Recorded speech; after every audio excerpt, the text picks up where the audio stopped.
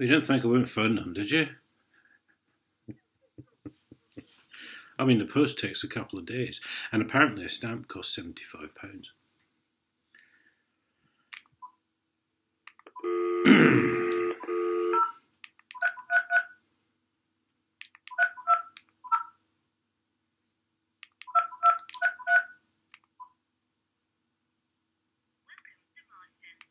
So we can help you as quickly as possible.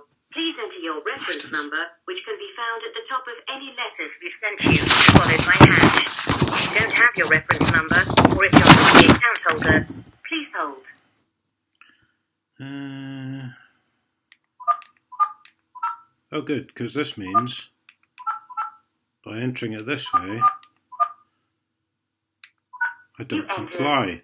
One, seven, zero, one, eight, eight, four, four, one. Is this correct? To confirm, press one. To re-enter the number, please press two. I'm sorry, but we don't recognize the reference number you've entered. Please try again. Oh, So we can help you as quickly as possible. Please enter your reference number, which can be found at the top of any letters we've sent you, followed by hash. If you don't have your reference number, or if you're not the account holder, Oh, that's the one. hold. Sorry, chaps. There's two reference numbers on there.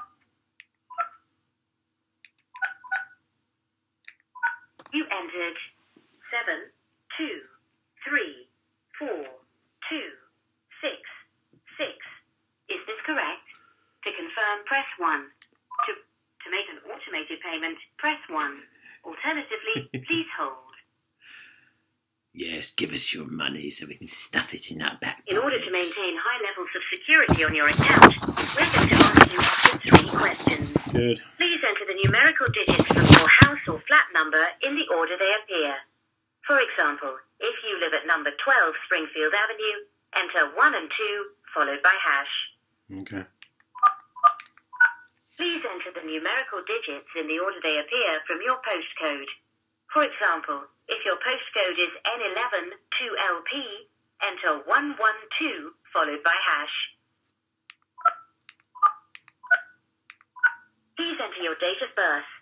For example, for the 1st This of is June great, 1980, because you're not complying by doing this. 010680, followed by hash.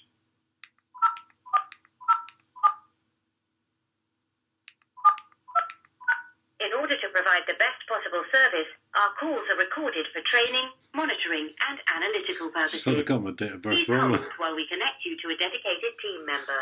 Ooh, Dedicated team member.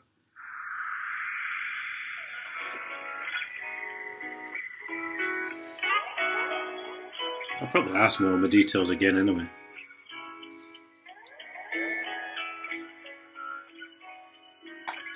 You all know where I live.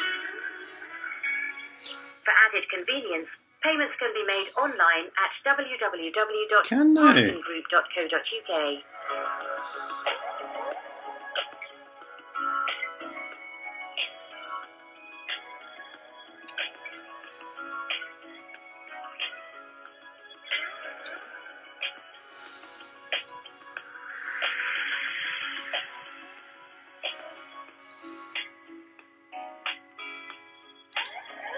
It's now um,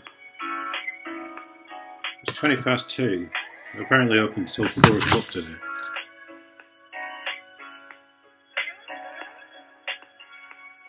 Marston Group Limited is a member of the Civil Enforcement Association, and you're able to visit their website at www.civea.co.uk. Yeah, eight till four on a Saturday, Barry. I'll be all the ones who haven't met their target.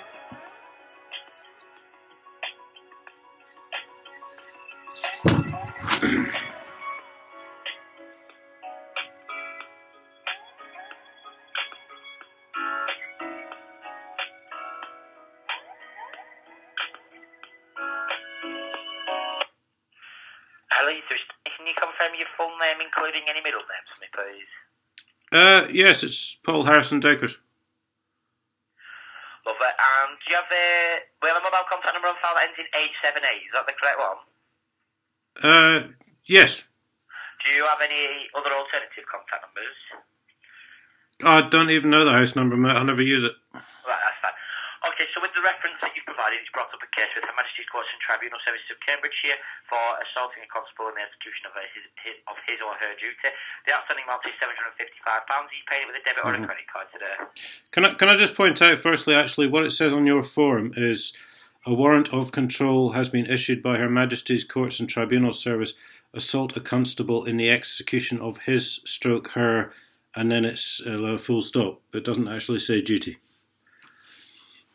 Right, okay, well, that's fine. I understand that, but that is what it's for there. So, moving forward, sorry, are you looking to pay with a debit or a credit card? Uh, no, because it was a completely unlawful court hearing. Firstly, I was initially arrested on March the 24th, and the, the final court case wasn't until November 9th, which is outside of the six month time limit the CPS have to take you to court.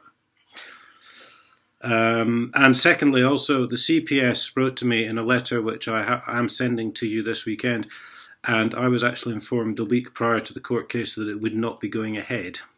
Uh, the court then went ahead with it because they're all bent, basically, and they're all corrupt. Right, okay. Um, I'll be honest with you, if that's the case, that's fine, but No, you see, I've told the court this already, and they've now passed the file to you because the court are all bent and they're all corrupt, and all the judges are bent and they're all corrupt. Uh, the court were more than clearly informed that I was told the court case was not happening and that the court case was out of time. And in fact, they've just passed a file to you for one of your Nazi thug bully boy bailiffs to come round and try and steal all my stuff. you know, the, the uh, the Majesty's Courts and Tribunal Services of Cambridge uh, um, has taken this to court and a liability order has been granted in your name. So we've been instructed to collect payment in full from you. But if you've got proof that confirms we shouldn't proceed, then by all means you can email that in to us. I've, I'm, I'm going to send it to you through the post, but I've already um, sent a letter to the court and they've just carried ahead and sent the file to you, so I'm presuming you're going to do the same thing. So, well, to be honest with you, what we can do, well, the two options available are we can set it into an arrangement, and then if for any reason, if your dispute is successful um, and, and it's confirmed, then the money will be refunded. Alternatively, Uh, what, uh, money will be. I'm not paying the money, mate. okay. Alternatively, then this is the alternative option. We can put the case on hold for 28 days to give you time to send in all the supporting evidence. In regards to that, we will check that back as long as it's within the timescale. If we check it back with the courts and for whatever reason they deem it as incorrect and they confirm that it still needs paying, at that point you will need to pay the balance in full. So it's up to yourself. If you're adamant that this shouldn't be paid and you've got a valid evidence there, then that's fine. But I just, you know, I'm, I want to help you. So, and the bottom line is, if the court says to us after you send us details in that no, it's outstanding, at that point you will have to pay that balance in full.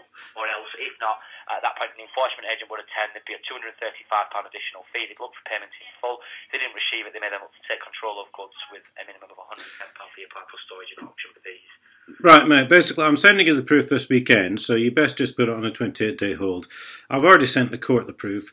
The court knew fine well the case was unlawful. It was outside the six month time limit. The CPS had told me it wasn't going ahead. So if after that you send one of your thug bailiff mates round, mate, he's going to end up in fucking hospital. Do you understand me? Because I'm sick of you fuckers doing exactly what you fucking want, ignoring every fucking law going. Is that fucking clear? Can make a note of the details, but it won't change any proceedings. Right, fine. You've been warned off, mate, because you people pay no attention to the fucking law whatsoever. You're a bunch of Nazi fuckface vile wankers. So this is the end of the fucking conversation.